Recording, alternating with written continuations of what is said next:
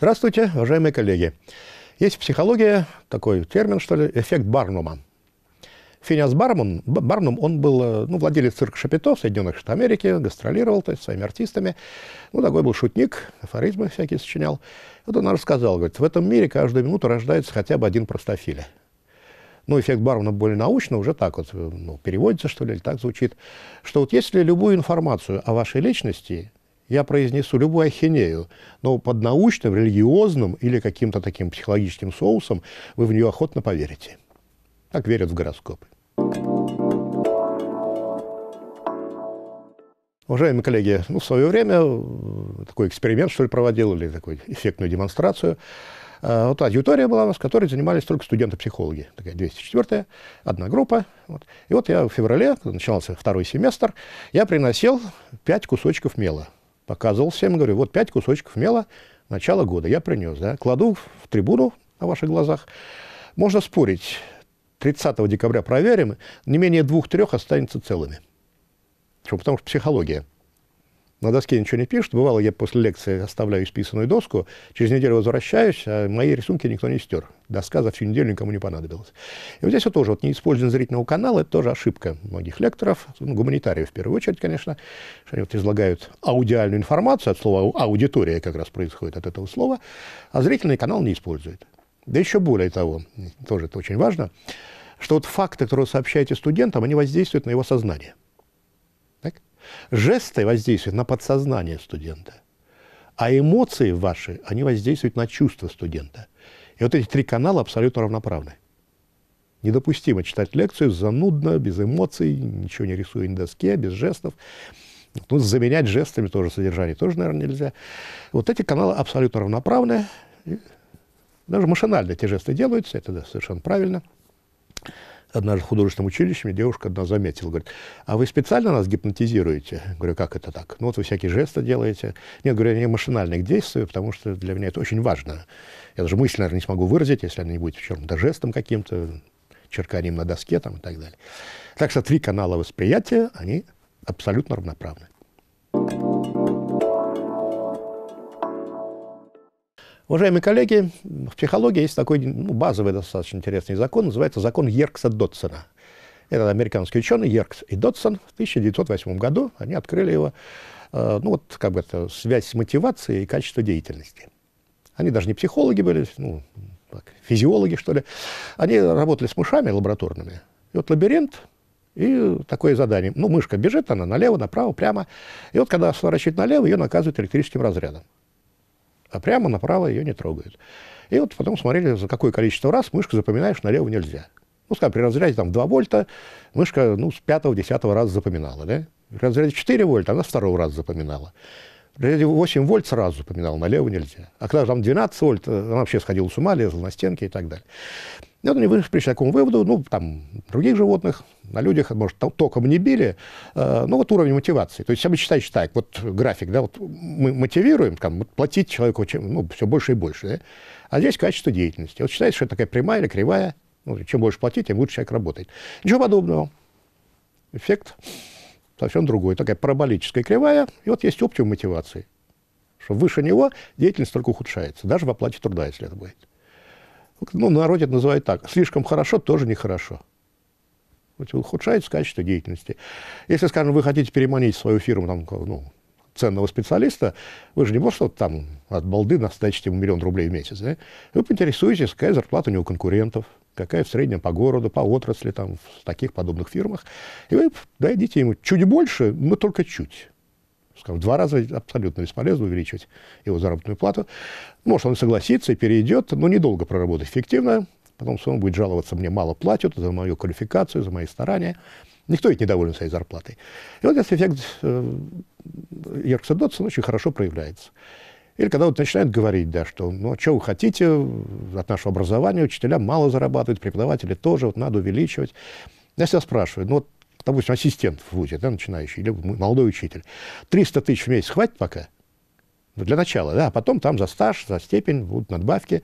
Ну, вроде многие соглашаются, да, наверное, хватит. Говорят, ну, хорошо, вот представим себе, мы дали всем учителям 300 тысяч рублей в месяц.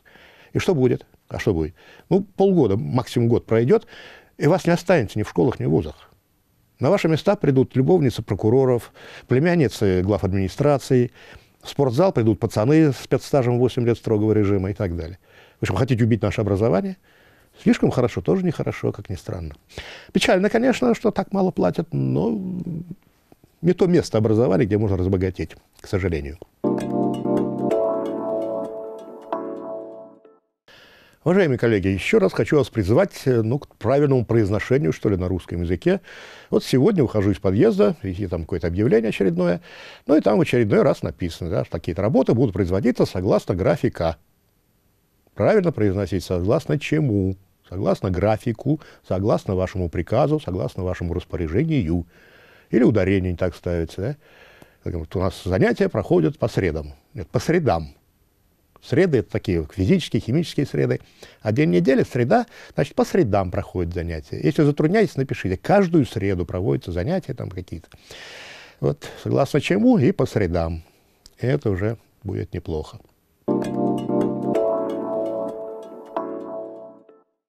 Уважаемые коллеги, мы как-то уже говорили, еще раз повторю на эту тему, вот Трампомания, то есть избрание президента Трампа. И вот сейчас э, ну, каждый политолог, если не каждый второй, там, а и каждый первый, обязательно упомянет, что он-то уж предсказывал, что Трамп победит, хотя врет, конечно. Вот, э, ну или там уже начинают рассказывать, что он там предпримет в первые 100 дней своего президентства, что в первую неделю. Трамп об этом еще не, подумал, наверное, да? они уже за него знают, все такое. Ну, я не при этой не буду врать, что я там предсказывал чего-то, как-то верил больше в Клинтон. Ну, ну раз не мог поверить действительно, что Трамп изберут при такой антитрамповской кампании. Я про другое. Вот действительно Обаму сейчас как-то э, ну, проводили плохо его, да, все, и черный бибизян там он, и все завалил там, самый неудачный президент за всю историю Соединенных Штатов. Но когда он поизбирался на первый срок, было действительно такое хорошее ожидание, да, не потому что он негр, да, молодой вроде, уверенный такой, это, ну и как-то так э, верили в него, да, Нобелевскую премию дали. А я тогда купил, у нас очень срочно перевели книгу, его издали, называлась «Дерзость надежды». Я тогда очень черкал всякими фломастерами, э, маркерами, очень много узнал о политической системе Соединенных Штатов, там, о выборах и прочее, прочее. Вот, например, у нас вот любят ругать, что в Госдуме у нас, да, ну вот кнопки нажимают. Там действительно такое есть, да. А, мы даже, когда вот я учился на курсах, у нас один день был такая практика, что ли, в Госдуме. Мы встретились с депутатами от Республики Татарстан. Вот, и э, это, Анбиар Каримов тогда был, бывший редактор газеты «Молодежь Татарстана». Он во время этой встречи только извинился, встал, говорит, ребят, извините, но я пойду в зал, я сегодня дежурный по фракции. И пошел за всю фракцию нажимать, значит, кнопки. Вот. Ну, фракция же решила, как голосовать за этот законопроект. Да? Все за или против, значит, просто осталось нажать кнопки.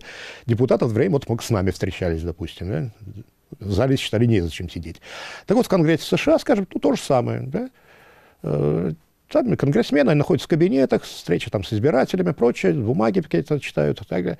А, скажем, в зале Конгресса, там чуть ли не пустой зал, и кто-то из конгрессменов для протокола просто зачитывает законопроект, свою речь произносит. Никто его не слушает. Да? Ну, мы есть трансляции в кабинете конгрессменов. Но в определенное время звенит звонок, и все конгрессмены собираются в зал для голосования.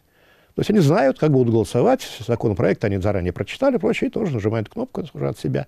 Дежурных по фракциям нет там, да, но точно такая же вот эта процедура, очень похожая на нашу Госдуму.